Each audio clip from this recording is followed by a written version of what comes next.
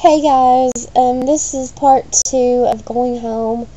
Um, I'm back now, and I was talking about um, the big, um, the big thing that happened while I was at home, not being able to see my brother's kids. And you know, um, I'm going to talk to my counselor or my therapist on Thursday this week, and see what she see what she suggests. Um, you know but really, there's nothing that I can do, you know.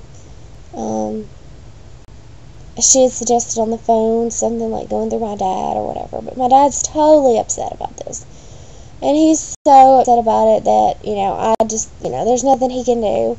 There's nothing I can do, and there's nothing I can say to them to change their mind, because once their mindset is set, they are totally set on something, and there's nothing I can do. There's just nothing that anybody can do. So, I don't, I don't know. I just, you know, I mean, I know they're trying to protect their kids or whatever, but I'm never going to take another overdose, so nobody has to worry about that. I'm never going to do that again. Um, Dad said something around the realms that, and he said not to quote him, but, you know, I, I don't know um, that my brother thought that I didn't have a problem anyway, and that I should just go off all the medicine and I would be fine, and that I didn't have depression and and um, all this and that. So I guess I'm supposed to be okay and normal, guys.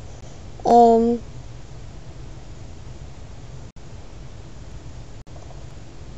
I don't know. I really don't know. All I know that I care about right now is I just want to get my life back together. I want to get a new job. And yeah, I just want to get my life back together and get a new job and focus on me and getting back to the gym, which I'm doing, which I haven't been to the gym since I left. So I haven't been to the gym since Thursday of yeah, when I left. So it's been a week. It's been a week and a day or something like that. So I've got to go back to the gym and I go get my knee looked at this Friday. So we'll see what happens with that. And I did get a response back from, um, I have a job that I put in for, and I did get a response back that from that, and it said that it was going, it was being forwarded to, um, has been forwarded to the main office for review. So the next thing that comes is a callback, is a call saying that you are going to get interviewed, or they call you and let you know if you're going to get an interview or some bullshit like that. So that's a plus. Um, but then I have to make the determination of whether, you know, if it's if if I go for an interview and they only like offer me a little bit amount of money and I'm already making more on disability, then I have to decide, you know, I have to weigh the options because I'm not going to take it, you know, and then fail in that job or whatever. I'm just going to wait until the right job comes around, I guess, so to speak, um, before I make a move because I have to really be sure that I can do the job and everything before I come off disability. Plus, my doctor has to okay it. And so far, he hasn't okayed anything, so um, and once again, dear brother of mine, in case you're watching, um, I am trying to get my life back together and um, get back to work and everything like that. And the doctor hasn't okayed me to go back to work, but I am trying to find work. And um, as soon as I find the right job, then I will go back. Um, but I'm hoping to find a job that makes enough money that I can take care of everything and uh, not need any help from anybody. That's what I hope because uh, obviously there's not anything. Um, well, I should I shouldn't say that. Um, I'll just leave that alone.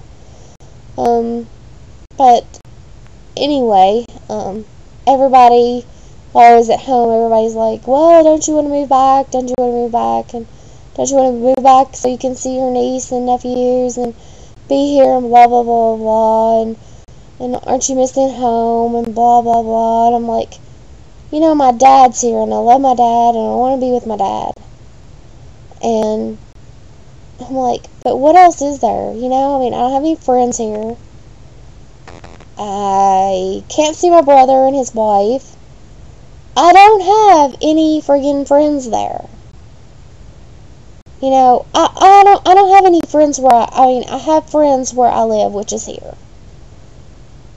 Okay. I don't have family here. But I do have friends here. And um, for some reason I like it here. Um, for some odd reason I like it here. God knows why. I don't know. I just I like it here.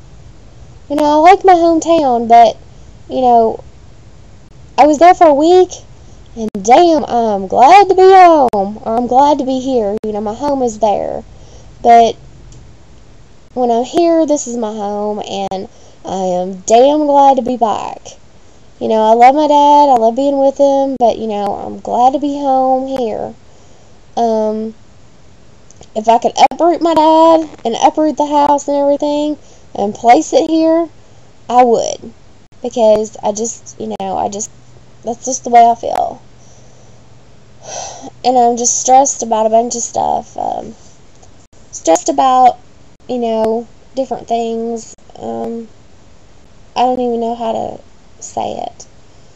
But while I was at home, I went to my mom's grave and I visited her grave and um, I put some new flowers out. And they looked really, they look really good. Um, I didn't stay long. Usually I stay and I talk to her for a while. I know that sounds weird, but I stayed and I talked to her for a while. But I just didn't um, talk to her this time because I didn't really want to get myself really, really upset. So I didn't talk to her this time. Um, I just um, basically put the flowers out and left. Um, I put some flowers on my grandmother's grave and my grandpa's grave too. Um, they're side by side, so um, I um, did that as well, and they looked really pretty. So um, we did that. Me and Dad did that, and um, I also had um, lunch with my cousin, which I haven't seen probably since my mom's funeral, which was about 14 years ago. So um, that went well we had a good talk and everything, and um, it was awesome. It was really good.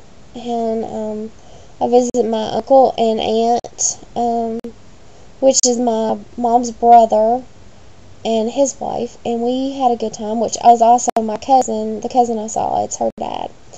And um, we all had a, we had a good visit, and um, my dad did some, he worked during the day with my uncle, um, doing some stuff, and um, of course he went and picked up my brother's kid. Well, not picked him up, but he went and stayed at their house and waited till their bus got home from school and stuff. And I just basically stayed around the house, and um, um, of course, Dad doesn't have much TV to watch. There's only like four channels. He doesn't get cable or anything like that, so it's pretty boring. And um, I couldn't use my computer because Dad doesn't have internet access. And um, I went and tanned at this place they have. Um, it's Suntan City. And it's a big corporate operation. I'm sure everybody knows of it. And they were total assholes there. Um, where I'm from, well, where I, I live right now, um, we're getting a Suntan City. It's a small town. Um, of course, I live just 20 minutes from a large town, really large town and um, they have a Suntan City also. But this little town's getting a Suntan City too, which is probably gonna wipe out. Well, it might wipe out the small town, the small town tanning salons. And I belong to a small town tanning salon. Of course, I'm not going anywhere because they're great and I love them. Uh, I know the owners and everything.